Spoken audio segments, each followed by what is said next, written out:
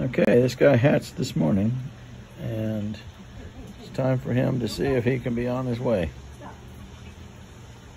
Not sure he really wants to take off yet. He's still a little flimsy. It's pretty windy out here, but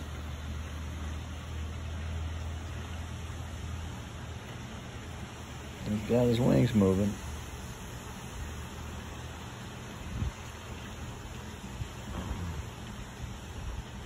You gonna fly away? Get some lift?